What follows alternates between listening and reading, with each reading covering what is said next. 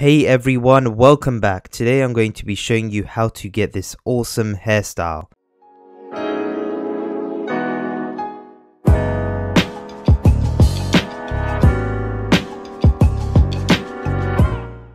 Alright, so I'm assuming you guys just watched that awesome intro. I'm to leave his links in the description if you would like to purchase one from him.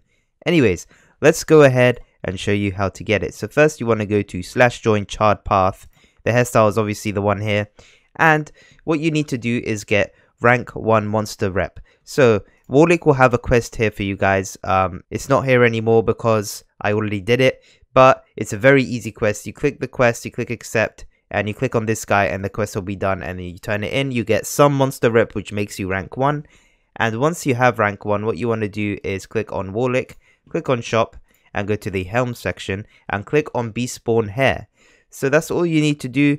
It's really easy to get this helm. It's not color custom unfortunately, but I still think it's a really nice helmet. You can also get other ones here too, and some of them you need higher reps. So that's pretty much it for this one guys. If you have any suggestions on what you want to see more of, like armors or helmets or whatever, let me know in the comments down below and all that.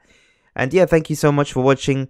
Thank you for all the recent support as well guys. Thank you and I'll see you in the next one. Bye bye.